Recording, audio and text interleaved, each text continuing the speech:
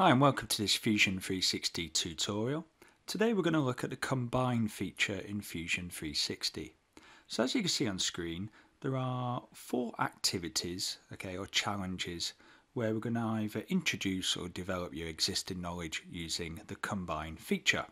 So we're going to start off by looking at the join, the cut and the intersect so that's the basic functions of this feature and then if you check out my other videos you'll see we'll have a look at creating two different types of molds okay using the combine feature as well so if you would like a copy of any of the completed models okay please check the link in the description below and we'll jump straight into fusion so what I've created on screen is a simple cube and a ball or sphere shape.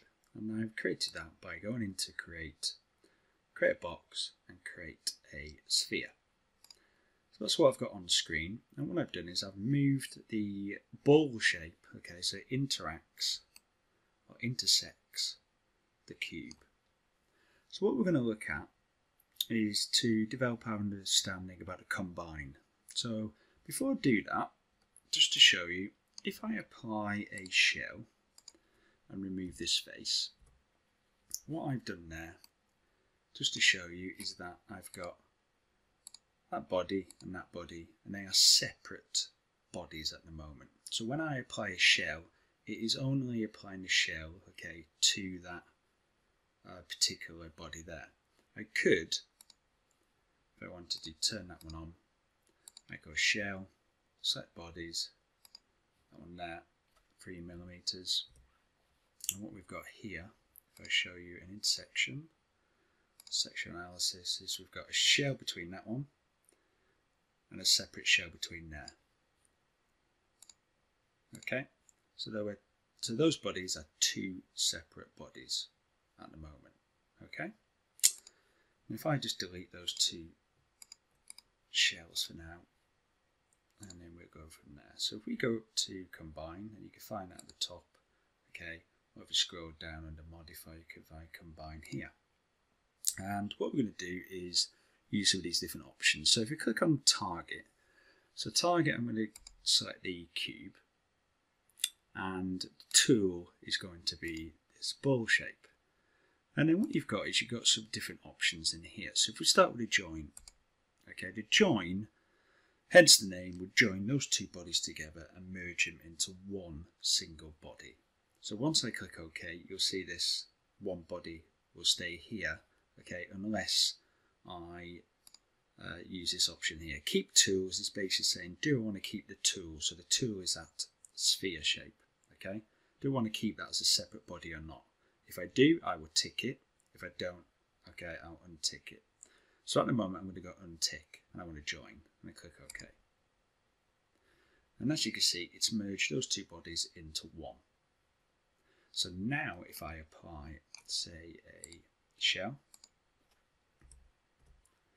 okay, what that's done, if we go up to sectional, it is not only shelled out that cube, but it's actually gone into that ball sphere shape as well because they are now two okay those two bodies have been merged into one. Okay so that shell is now affecting both of those at the same time. Okay let's click cancel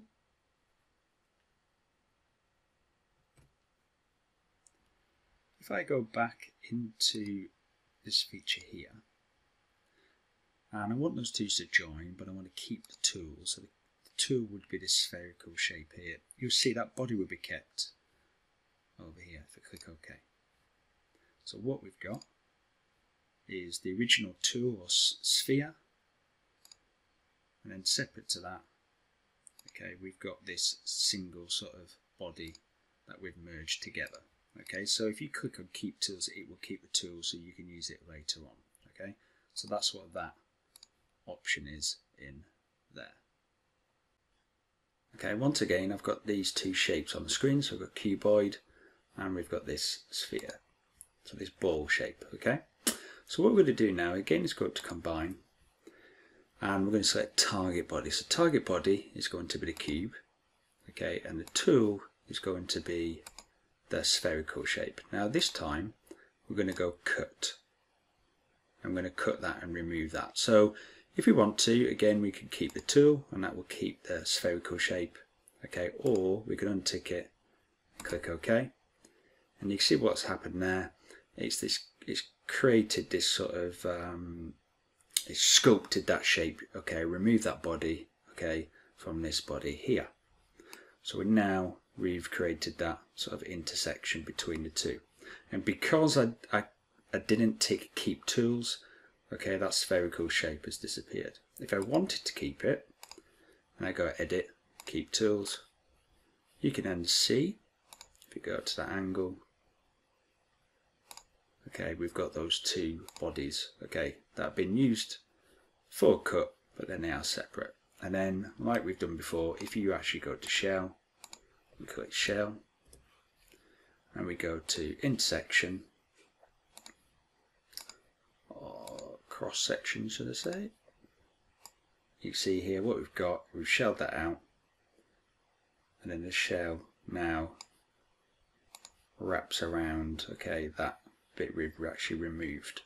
So you can see here, okay, the result of that feature. This time, if I just delete this, okay, and delete that feature, again, we've got two separate, okay, bodies that we've not done anything.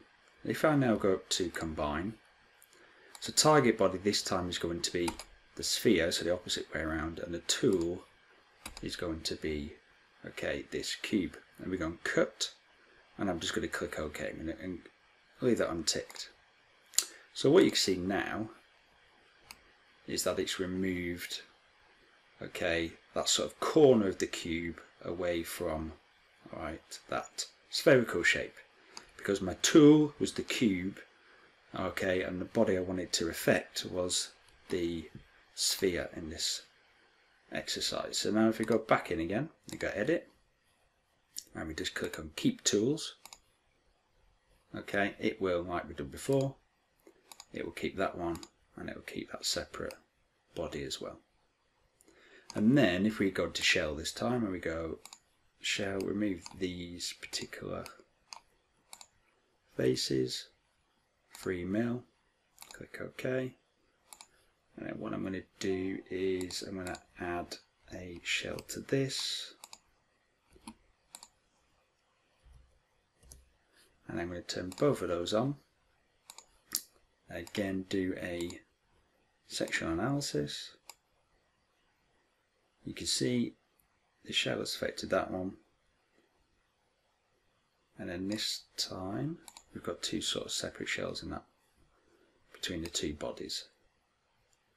Okay, so that's how you can use the cut by selecting different bodies to target and different bodies to use as a tool.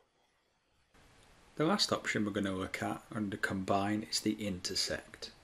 And what I'm going to do is I'm going to click on my cube I'm going to create a copy, so control and C, control and V and just paste a copy of the model there. And We're going to use that later just to show you what's happened when we use this tool. So if we go into combine and what we're going to do, we're going to go up to target body and we're going to select this cube, so the first cube, the original one.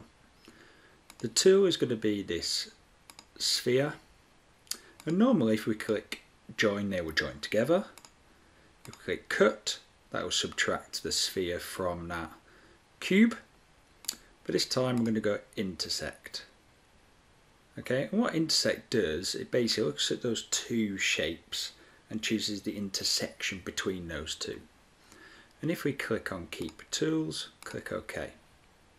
Then what we've got here, if we hide this cube and sphere, and then we've got our cube copy, and if we actually turn all those on, then we separate and move them. So I'm just going to click on say sphere here, just drag and move that actually out of the way like that.